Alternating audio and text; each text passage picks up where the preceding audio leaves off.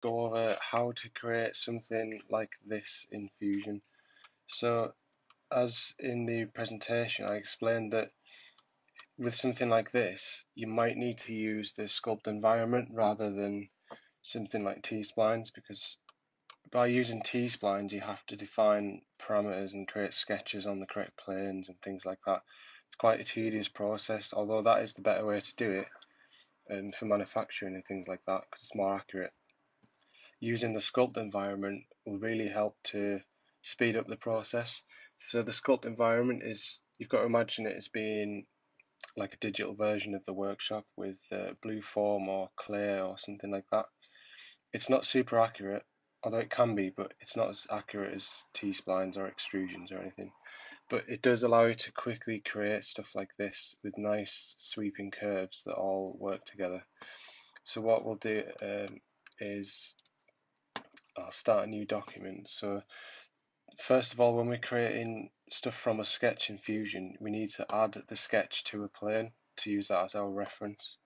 So if we go to Insert, Canvas, find the image or sketch that you've got, and then you need to select a plane. So because I've drawn it from the side view, we need to select one of the side planes, either one. Now it's quite small, so I'll just use the scale button to make it bigger, and that'll do. So now what we need to do is edit it a little bit. So if we go over to canvases, right click on the coffee cup canvas and hit calibrate. Now what we can do is we can define how big this is because this is an infinite canvas. This could be 100 meters wide or 10 centimeters wide. Fusion doesn't know that, so we need to tell it. So if we click on the corner, there and there, we know that in real life this is approximately 80 millimeters wide. So if we do that, the sketch will scale up so that this is 80 millimeters wide and obviously everything else will scale proportionally. Now, when you get further along in the project, you should be really referencing ergonomics books to get the ergonomics and proportions of everything right, you know, the height of this and the, how far this comes out. But for now, we're just to, I'll show you how to quickly make it. So now that we've got this, we need to hit there again and then click M on the keyboard for move. Why is that not working? Okay, if that doesn't work, just click Edit Canvas. Now what we need to do is we need to bring this up so that the bottom of the cup is roughly aligned with this red line, which is the bottom plane. And then we need to move it left and right so that this, the origin here, is roughly in the center of the cup. And you'll see why in a second. So now that that's done, we'll hit OK, and now you can see that, imagine this was our ground um, this would be sat on the table. So if we go into the sculpt environment by hitting the purple cube here, uh, what we'll do is, because it's a cylindrical object, we'll create a cylinder, nice and easy. So we'll select the bottom plane, and now you've got a crosshair, so that's going to define the center of the circle. Now because we set this cup to be at the center of the origin, when we click and drag to set the diameter of the um, cup, it's perfectly aligned. So now we just click and drag up until it um, is 80 millimeters wide. Now we should have something like this. So obviously that's not what we want. So what we'll do is we'll just bring this up to about here for now and then don't worry about that. You can change the amount of sides, uh, faces and height faces but we'll leave that as it is for now because we're not going to deform it too much. So if we just hit OK, now what in the sculpt environment, if you double tap with the left mouse button on any line, you'll highlight that entire ring or connection of lines. So if I do that one, it'll highlight that. Now this is useful because when we click this button, edit form, or you can do it before, and then double click there, what we can do is we can then move that entire ring as one unit.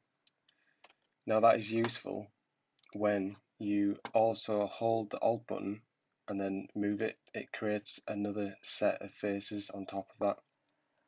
Now that's useful because what we're going to do is we're going to create a couple more to match up to the height but we're going to leave this line here because we're going to use this and bring this out here. So if we just keep holding alt and then drag a few more times, we want one there, and then 1 to be the top approximately.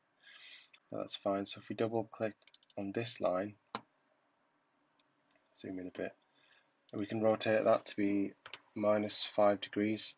Now that it's not a, it's not the same as this angle, but it's alright because it's a sketch. So we'll just tilt it a little bit and then just move it down slightly so you can see where this line is going to match there.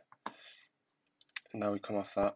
And now what we want to do is highlight these two lines here, just them two, and then hold uh, Option or Alt and then drag it out again until it's about roughly the same kind of extrusion as the sketch. So now we should have something that looks like this. Now I know it's not great at the minute, but what we're going to do is we're going to use a tool within the environment called crease. So if we hold control and then select them two lines again, we go to modify and then crease. We're going to crease them lines. So now that's looking a lot more like the sketch, but it's still not right. So if we uh, click edit form again, now if you click with the left mouse and drag to the right, you can select some lines. Whereas if I click and drag from the le uh, left, move to the click and drag from the right, move to the left, it selects the faces. Now because we just want the lines, we're going to click from the left and drag right and click on the edit form button again.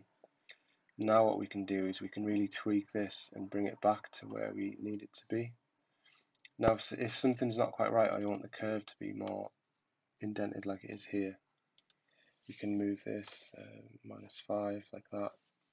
Um, oh, double click there. Now we want this to be 5.